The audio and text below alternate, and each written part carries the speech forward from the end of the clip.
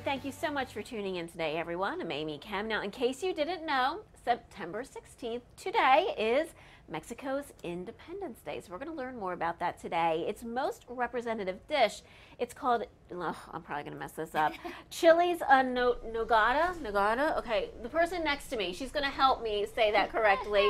we have um, Sina Chariti of Food Wonders TV. She's a food researcher. Pronounce it for me. Sure, they are called chiles en nogada. Okay, I should have practiced before the show. So what, what's the origin of this dish? Why are we talking about it today? Sure, so chiles en nogada, basically chiles, nogada is a sauce made out of, out of nuts. Nogada is the name of the tree. Oh, Uh-huh. so, So, it's nuts. Okay. and so this dish is very important. It's called Mexico's national dish, and it was created during the time of Mexico's independence.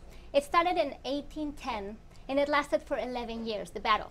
So 1821, Seven-year battle. Ooh. 1821, it was proclaimed uh, so the, by the insurgent army. And they were going to Veracruz, to a city called Cordoba, to, to sign the independence. And uh, the emperor, his name was Agustin de Iturbide. They were on the way to Veracruz, and they stopped in Puebla, which is a place where most of Mexico's national, national dishes were born Oh, and the, the, the cuisine in Puebla was very was done in the convents mostly. So they got together 14 convents to with all of their sisters to cook for them, and the convent of San, Santa Monica came up with this. It was a dish that already existed.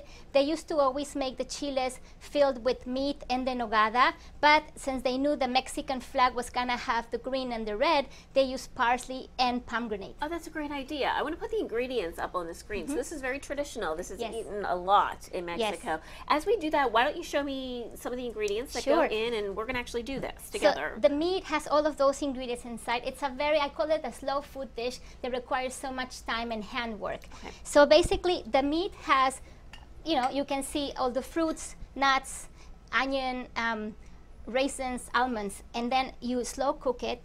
The way to, to do it is you so have you pre-cook. you pre-cooked it, of course. Okay. You have to roast the peppers, and they take you know you roast them, and then you have to sweat them and peel them. So that's another Mm-hmm. slow process.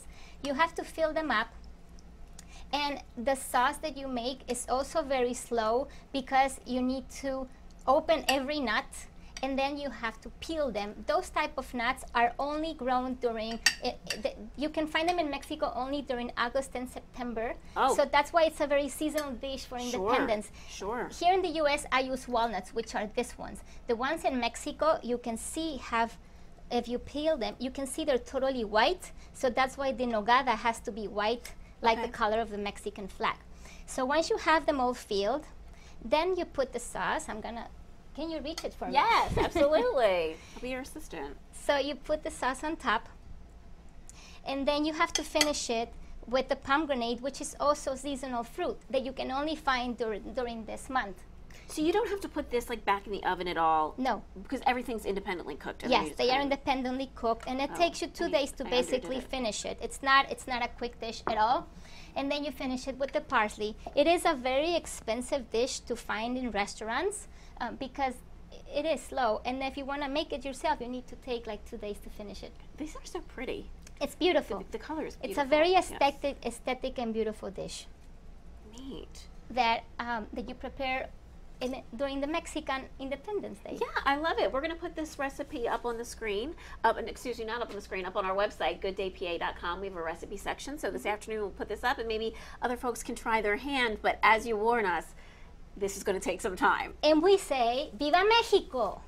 There you go. Happy Independence Day from Mexico. It's always lovely to have you, you. Sina. Thanks for being here today.